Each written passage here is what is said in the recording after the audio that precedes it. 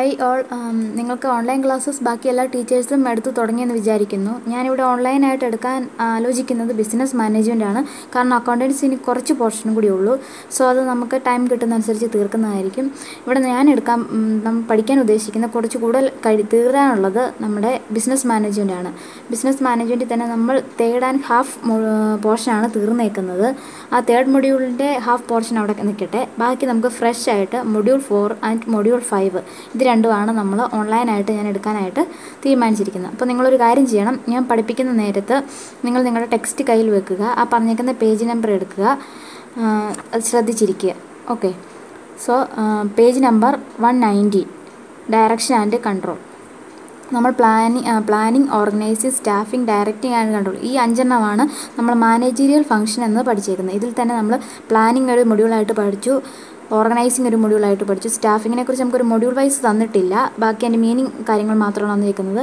അടുത്തായിട്ട് ഇമ്പോർട്ടന്റ് ആയിട്ട് നമുക്കൊരു മൊഡ്യൂൾ വൈസ് ആയിട്ട് തന്നേക്കുന്നതാണ് ഡയറക്ഷൻ ആൻഡ് കൺട്രോൾ അപ്പോൾ ഓർഗനൈസിങ് എന്താണെന്ന് നമ്മൾ പറഞ്ഞു. എല്ലാ ഫാക്ടേഴ്സ് ഓഫ് പ്രൊഡക്ഷനെയും മെൻ മെറ്റീരിയൽ മണി തുടങ്ങിയ എല്ലാ ഫാക്ടേഴ്സ് ഓഫ് പ്രൊഡക്ഷനെയും നമ്മൾ ബ്രിങ്ങിങ് ടുഗദർ ഒരുമിച്ച് ചേർത്ത് ഓർഗനൈസേഷന്റെ അച്ചീവ് ഒബ്ജക്റ്റീവ് അച്ചീവ് ചെയ്യാനായിട്ട് നമ്മൾ ഒരുമിച്ച് ചേർക്കുന്നതിനെയാണ് ഓർഗനൈസിങ് എന്ന് പറയുന്നതെന്ന് പറഞ്ഞു. ഇനി നെക്സ്റ്റ് ആയിട്ട് വരുന്നതാണ് directing or direction so direction എന്താണെന്ന് മീനിങ് നോക്കിയാൽ അറിയാം direction is the managerial function of guiding overseeing and leading people to the attainment of certain objective നമ്മുടെ ഓർഗനൈസേഷന്റെ സർട്ടൺ ഒബ്ജക്റ്റീവ്സ് അച്ചീവ് ചെയ്യാനായിട്ട് ഓർഗനൈസേഷനിലെ പീപ്പിളിനെ അതായത് എംപ്ലോയീസിനെ ഗൈഡ് ചെയ്യുകയും അവരെ ഒരു അവർക്കൊരു മേൽനോട്ടം വയ്ക്കുകയും ചെയ്യുന്ന ഒരു മാനേജീരിയൽ ഫംഗ്ഷനാണ് ഡയറക്ഷൻ ഓർ ഡയറക്റ്റിംഗ് എന്നുകൊണ്ട് ഉദ്ദേശിച്ചിരിക്കുന്നത് ഇവിടെ തന്നെ പറഞ്ഞിട്ടുണ്ട് in the words of Ernest Dale direction is the job of telling people what to do and see that they do it in the possible manner അതായത് ഇവിടെ ഏണസ്റ്റ് ഡയയിൽ പറഞ്ഞേക്കുന്നത് direction എന്ന് പറയുന്നത് പീപ്പിളിനോട് അതായത് ഒരു എംപ്ലോ ഒരു ഓർഗനൈസേഷനിലെ എംപ്ലോയീസിനോട് എന്താണ് ചെയ്യേണ്ടതെന്ന് പറയുകയും അത് അവർ ഏറ്റവും ബെസ്റ്റ് പോസിബിൾ മാനറിൽ ഏറ്റവും കോസ്റ്റ് എഫക്റ്റീവായിട്ട് അവർ അത് ചെയ്യുന്നുണ്ടെന്ന് ഉറപ്പുവരുത്തുകയും ചെയ്യുന്നതാണ് ഡയറക്റ്റിംഗ് എന്നുകൊണ്ട് ഉദ്ദേശിക്കുന്നത്. Next definitions there are three definitions are given എനിക്ക് തോന്നുന്നു മൂന്നാമത്തെ ഡെഫിനേഷൻ ആയിരിക്കും നിങ്ങൾക്ക് പഠിക്കാൻ കുറച്ചുകൂടി എളുപ്പം. Koontz and O'Donnell direction is a complex function that includes all those activities which are design to encourage subordinates to work effectively and efficiently in both the short and long run എന്ന് വെച്ചാൽ ഒരു ഓർഗനൈസേഷനിലെ സബോർഡിനേറ്റ്സിനെ അവരുടെ വർക്കിനെ ഏറ്റവും എഫിഷ്യന്റായിട്ട് ചെയ്യാനായി design ചെയ്തിട്ടുള്ള ദീർഘകാലത്തേക്കോ അല്ലെങ്കിൽ ഹ്രസ്വകാലത്തേക്കോ ഉള്ള ഒരു പ്രവർത്തനങ്ങൾ അല്ലെങ്കിൽ എല്ലാ പ്രവർത്തനങ്ങളും ഉൾക്കൊള്ളുന്നതാണ് ഡയറക്റ്റിംഗ് എന്ന് പറയുന്നത്. അതായത് ഓർഗനൈസേഷന്റെ ഒബ്ജക്റ്റീവ് അച്ചീവ് ചെയ്യാനായിട്ട് അല്ലെങ്കിൽ ഒരു ഓർഗനൈസേഷനിലെ എംപ്ലോയീസിന്റെ വർക്ക് എഫക്റ്റീവ് ആക്കാനായിട്ട് ഡിസൈൻ ചെയ്തേക്കുന്ന ഒരു കൂട്ടം പ്രവർത്തനങ്ങളെയാണ് ഡയറക്ഷൻ എന്നുകൊണ്ട് ഉദ്ദേശിച്ചേക്കുന്നത് ഇതാണ് ഈ ഒരു ഡെഫിനേഷനാണ് നിങ്ങൾ അണ്ടർലൈൻ ചെയ്ത് പഠിക്കേണ്ടത്. ഇനി അടുത്തായിട്ട് വരുന്നത് nature or characteristics of direction എന്താണ് ഡയറക്ഷന്റെ ക്യാരക്ടറിസ്റ്റിക്സ് സവിശേഷതയായിട്ട് പറഞ്ഞേക്കുന്നത്. ഇവിടെ നമുക്ക് എട്ട് ക്യാരക്ടറിസ്റ്റിക്സ് ആണ് പറഞ്ഞേക്കുന്നത്. First one managerial function as we know directing is also a managerial function ബാക്കി ഫംഗ്ഷൻ പോലെ പ്ലാനിങ് ഓർഗനൈസിങ് സ്റ്റാഫിംഗ് പോലെ തന്നെ സിമിലർ ആയിട്ടും അല്ലെങ്കിൽ അതിനെ അതിനേക്കാൾ കൂടുതൽ ഇമ്പോർട്ടന്റ് ആയിട്ടുള്ള ഒരു മാനേജീരിയൽ ഫംഗ്ഷനാണ് നമ്മൾ ഡയറക്റ്റിംഗ് എന്ന് പറയുന്നതാണ് ഒന്നാമത്തെ സവിശേഷതയായിട്ട് പറയുന്നത്. It ensures effective performance by subordinates ഒരു ഓർഗനൈസേഷനിലെ സബോർഡിനേറ്റ്സിന്റെ ഏറ്റവും എഫക്റ്റീവ് ആയിട്ടുള്ള പെർഫോമൻസിനെ എൻഷുർ ചെയ്യാനായിട്ടാണ് ഡയറക്റ്റിംഗ് അല്ലെങ്കിൽ ഡയറക്ഷൻ എന്നൊരു ഫംഗ്ഷൻ നമ്മൾ ഉദ്ദേശിക്കുന്നത് ഇനി സെക്കൻഡ് വൺ പറഞ്ഞേക്കുന്നത് ലിങ്കിങ് ഫംഗ്ഷൻ ലിങ്കിങ് ഫംഗ്ഷൻ എന്ന് വെച്ചിട്ടുണ്ടെങ്കിൽ ലിങ്കിങ് ബിറ്റ്വീൻ സംതിങ് അതായത് എന്തിന്റെയും രണ്ട് രണ്ട് കാര്യങ്ങൾ തമ്മിൽ ലിങ്ക് ചെയ്തേക്കുന്നത്. ഇവിടെ ഡയറക്ഷൻ എന്തിനാണ് ലിങ്ക് ചെയ്തേക്കുന്നത് നോക്കിക്കേ. Direction is the connect link between preparatory management functions and controlling ഈ പ്രിപ്പറേറ്ററി മാനേജ്മെന്റ് ഫംഗ്ഷൻ എന്ന് വെച്ചാൽ പ്ലാനിങ് ഓർഗനൈസിങ് ആൻഡ് സ്റ്റാഫിങ് അതായത് നമ്മുടെ അഞ്ച് മാനേജർ ഫംഗ്ഷനിൽ ഫസ്റ്റ് ത്രീ ഫംഗ്ഷനെയാണ് പ്രിപ്പറേറ്ററി മാനേജ്മെന്റ് ഫംഗ്ഷൻ എന്ന് പറയുന്നത്. പ്ലാനിങ് ഓർഗനൈസിങ് ആൻഡ് സ്റ്റാഫിംഗ് ഈ പറഞ്ഞേക്കുന്ന പ്രിപ്പറേറ്ററി മാനേജ്മെന്റ് ഫംഗ്ഷനെയും ലാസ്റ്റ് ഫംഗ്ഷനായ കൺട്രോളിങ്ങിനെയും തമ്മിൽ ഒരു ലിങ്ക് ചെയ്തേക്കുന്ന അല്ലെങ്കിൽ കണക്ട് ചെയ്തേക്കുന്ന ഒരു ഫംഗ്ഷനാണ് ഈ പറഞ്ഞ നമ്മുടെ ഡയറക്ഷൻ എന്ന് പറയുന്നത്. Without directing the function of controlling will never arise and the preparatory management function will become meaningless അതായത് ഒരു ഡയറക്ഷൻ ഇല്ലെങ്കിൽ ഒരു പ്രോപ്പർ ഡയറക്ഷൻ ഇല്ലെങ്കിൽ കൺട്രോളിങ് എന്നൊരു കാര്യം അവിടെ ഉദിക്കുന്നില്ല. പ്രോപ്പറായിട്ട് ഡയറക്റ്റ് ചെയ്താലാണ് ആ ഡയറക്റ്റ് ചെയ്ത പീപ്പിളിനെ കൺട്രോൾ ചെയ്യാനായിട്ട് പറ്റുന്നുള്ളൂ അതുപോലെ തന്നെ പ്രോപ്പർ ഡയറക്ഷൻ ഉണ്ടെങ്കിൽ മാത്രമാണ് നമ്മുടെ ഏറ്റവും ആദ്യത്തെ പ്ലാനിങ് തൊട്ടുള്ള ഫംഗ്ഷൻസ് മീനിങ്ലെസ് ആയി കാരണം പ്ലാൻ ചെയ്തു വെച്ചു ഓർഗനൈസ് ചെയ്തു സ്റ്റാഫിനെ അസൈൻ ചെയ്തു. പക്ഷേ ഇവരെ അസൈൻ ചെയ്യാനായിട്ട് അല്ലെങ്കിൽ ഇവരെ ഡയറക്റ്റ് ചെയ്യാനായിട്ട് ഒരു ഫംഗ്ഷൻ അല്ലെങ്കിൽ ഒരു ഡയറക്റ്റിംഗ് എന്നൊരു ഫംഗ്ഷൻ ഉണ്ടെങ്കിൽ മാത്രമാണ് ഈ പറഞ്ഞ പ്രിപ്പറേറ്ററി മാനേജ്മെന്റ് ഫംഗ്ഷനും കൺട്രോളിങ്ങും എഫക്റ്റീവായിട്ട് നടക്കത്തുള്ളൂ. അതാണ് രണ്ടാമത്തെ characteristics next third one pervasive function നമ്മൾ എപ്പോഴും കേട്ടുള്ളതാണ് പെർവാസീവ് പെർവാസീവ് എന്ന് വെച്ചാൽ വ്യാപകമായ ഫംഗ്ഷൻ അല്ലെങ്കിൽ എവിടെയും ഉപയോഗിക്കാവുന്ന ഫംഗ്ഷനാണ് ഡയറക്റ്റിംഗ് എന്ന് പറയുന്നത്. നോക്കിക്കേ directing relates to all levels of management അതായത് ഡയറക്ട്സ് ഡയറക്റ്റിംഗ് എന്ന് പറയുന്നത് ഒരു മാനേജ്മെന്റിന്റെ ടോപ്പ് ലെവൽ ആവട്ടെ മിഡിൽ ലെവൽ ആവട്ടെ ലോവർ ലെവൽ ആവട്ടെ. മൂന്ന് ലെവലിനെയും റിലേറ്റ് ചെയ്യുന്ന അല്ലെങ്കിൽ മൂന്ന് ലെവലുമായിട്ടും ബന്ധപ്പെട്ട് കിടക്കുന്നതാണ് ഡയറക്റ്റിംഗ് എന്ന് പറയുന്നത്. It is the function of all managers at different levels പല ലെവൽസിലുള്ള അതായത് മൂന്ന് ലെവലുള്ള മാനേജേഴ്സിനും ആവശ്യമായിട്ടുള്ളൊരു ഫംഗ്ഷനാണ് ഈ പറഞ്ഞ direct.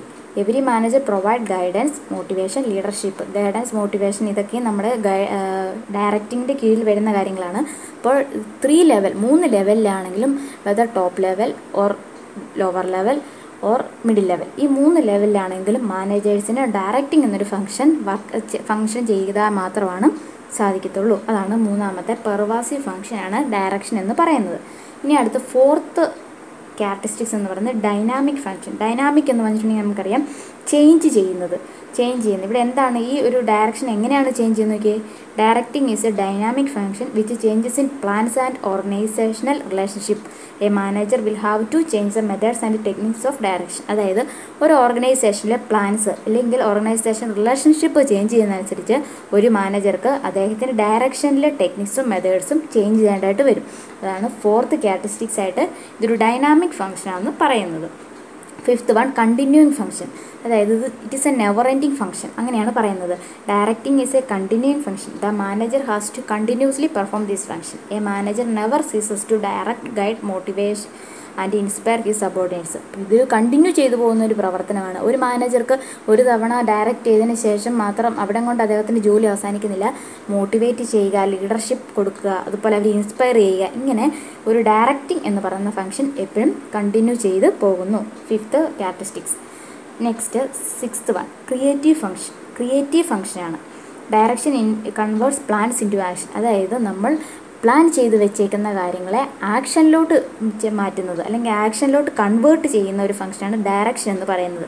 It is the process around which action reverse അതായത് ഒരു ഡയറക്ഷൻ പ്രോപ്പറായിട്ട് നടന്നാൽ മാത്രമാണ് നമ്മൾ ചെയ്യുന്ന പ്ലാൻസ് പ്രോപ്പറായിട്ട് അത് വർക്കൗട്ട് ചെയ്യാനായിട്ട് പറ്റത്തുള്ളൂ. It is management in action it breathes life into an organisation ഒരു ഓർഗനൈസേഷൻ ലൈഫ് കൊണ്ടുവരുന്നത് അല്ലെങ്കിൽ ഒരു ഓർഗനൈസേഷൻ ഒരു ചലനാത്മകത കൊണ്ടുവരുന്നത് ഈ ഡയറക്റ്റിംഗ് എന്ന് പറയുന്ന ഒരു ഫംഗ്ഷനാണ് നെക്സ്റ്റ് സെവൻ ഹ്യൂമൻ റിലേഷൻഷിപ്പ് ഞാൻ ആദ്യം തന്നെ പറഞ്ഞു നമ്മൾ ഇൻട്രൊഡക്ഷനിൽ തന്നെ പറഞ്ഞു ഡയറക്റ്റിംഗ് എന്ന് പറയുന്നത് ഏറ്റവും കൂടുതലായിട്ട് ബന്ധപ്പെട്ടിരിക്കുന്നത് എംപ്ലോയീസുമായിട്ട് ബന്ധപ്പെട്ട അല്ലെങ്കിൽ സബോർഡിനേറ്റ്സ് വർക്കിംഗ് പീപ്പിളുമായിട്ട് ബന്ധപ്പെട്ടാണെന്നാണ് പറഞ്ഞിരിക്കുന്നത്. ആ ഒരു കാര്യം തന്നെയാണ് ഇവിടെ ക്യാരക്ടറിസ്റ്റിക്സ് ആയിട്ട് പറഞ്ഞിരിക്കുന്നത്. Human relationship the direction function deals with relationship between people working in an organisation ഒരു ഓർഗനൈസേഷനിൽ വർക്ക് ചെയ്യുന്ന പീപ്പിൾ അല്ലെങ്കിൽ എംപ്ലോയീസ് അവരുമായിട്ടുള്ള റിലേഷൻഷിപ്പ് ഡീൽ ചെയ്യുന്നതാണ് directing it creates cooperation and harmony among the members of the organisation ഒരു ഓർഗനൈസേഷനിലെ മെമ്പേഴ്സിന്റെ ഇടയ്ക്ക് കോപ്പറേഷനും അതുപോലെ ഒരു ഐക്യതയും കൊണ്ടുവരും ഒരു ഹാർമണി കൊണ്ടുവരാൻ ഡയറക്ഷൻ ഹെൽപ്പ് ചെയ്യുന്നു. Last characteristics chain of command directing initials at the top level in the organisation and follows to bottom through the hierarchy ഒരു ഡയറക്ഷൻ തുടങ്ങുന്നത് അല്ലെങ്കിൽ ഒരു ഡയറക്ഷൻ സ്റ്റാർട്ട് ചെയ്യുന്നത് ഹൈറാർക്കി ഓർഡറിൽ ഏറ്റവും ടോപ്പ് ലെവൽ തൊട്ട് അതിനുശേഷം അത് ബോട്ടം ലെവൽ മിഡിൽ ലെവൽ ഈ രീതിയിലേക്കാണ് ഒരു direction command chain of command പോലെ തന്നെയാണ് ഡയറക്റ്റിനും ഡയറക്ഷനും മൂവ് ചെയ്യുന്നത്.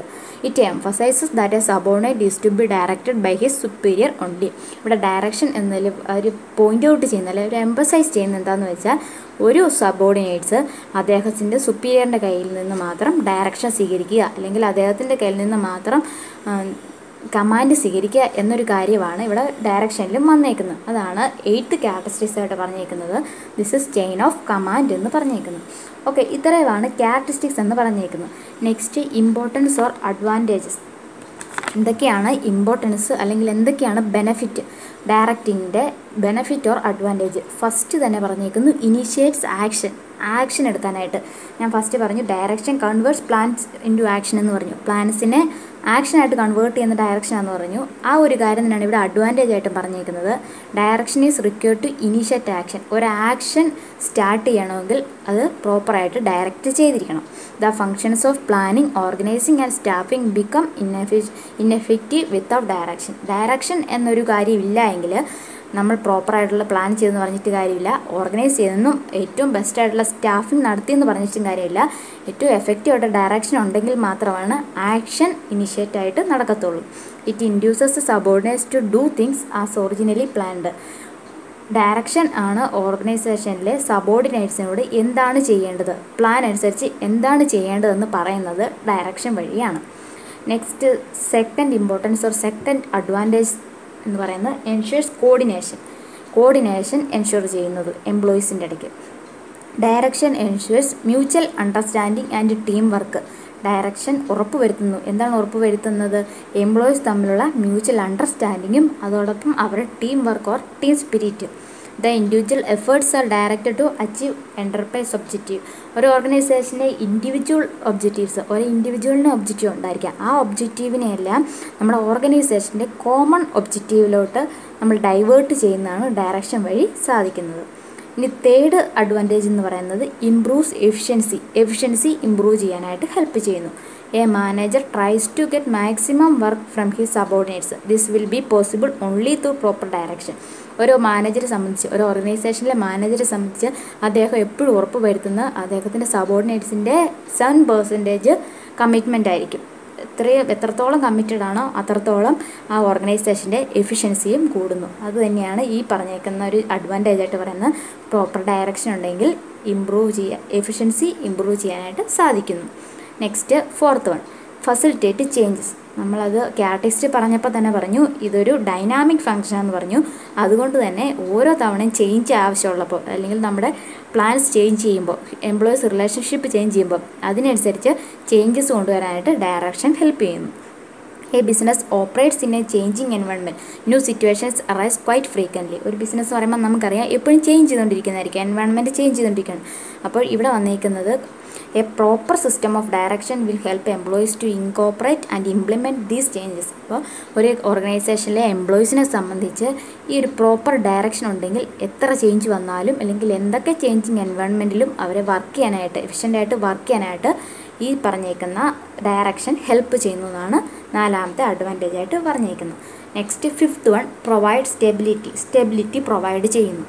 Effective leadership supervision and motivation will help in the smooth growth of an organisation ഒരു ഓർഗനൈസേഷന്റെ പ്രോപ്പറായിട്ടുള്ള സ്റ്റേബിൾ ആയിട്ടുള്ള വളർച്ചയ്ക്ക് നല്ല ലീഡർഷിപ്പ് സൂപ്പർവിഷൻ മോട്ടിവേഷൻ ഉണ്ടെങ്കിൽ മാത്രമാണ് ആ ഓർഗനൈസേഷനിൽ ഒരു ഗ്രോത്ത് ഉണ്ടാവത്തുള്ളൂ. എംപ്ലോയീസ് എന്താ പറയുക എംപ്ലോയീസ് തമ്മിലുള്ള അണ്ടർസ്റ്റാൻഡിങ് ഇല്ലായ്മയോ അല്ലെങ്കിൽ എംപ്ലോയീസ് തമ്മിലുള്ള എന്തെങ്കിലും മിസ്അണ്ടർസ്റ്റാൻഡിങ്ങോ ആ ഓർഗനൈസേഷന്റെ നിലനിൽപ്പിനെ തന്നെ ബാധിക്കും.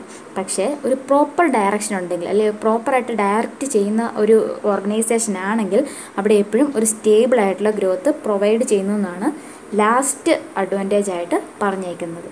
സോ ഇന്ന് ഇത്രയാണ് ഞാൻ പറയുന്നുള്ളൂ. ബാക്കി വരുന്ന ഭാഗങ്ങൾ നിങ്ങൾക്ക് കൂടുതലായിട്ട് പറഞ്ഞതായിരിക്കും ആർക്കെങ്കിലും എന്തെങ്കിലും മനസ്സിലാകാ മനസ്സിലാകാത്തതുണ്ടെങ്കിൽ നിങ്ങൾ ഒന്ന് രണ്ട് തവണ റിപ്പീറ്റ് മോഡിൽ കേൾക്കുക ടെക്സ്റ്റ് നോക്കി അണ്ടർലൈൻ ചെയ്യുക. മനസ്സിലാകാത്തുണ്ടെങ്കിൽ നിങ്ങൾ പേഴ്സണലായിട്ട് എനിക്ക് വാട്സപ്പിൽ വോയിസ് ക്ലിപ്പ് ഇട്ടാലും ഞാൻ അതിന് റിപ്ലൈ തരുന്നതായിരിക്കും. Okay thank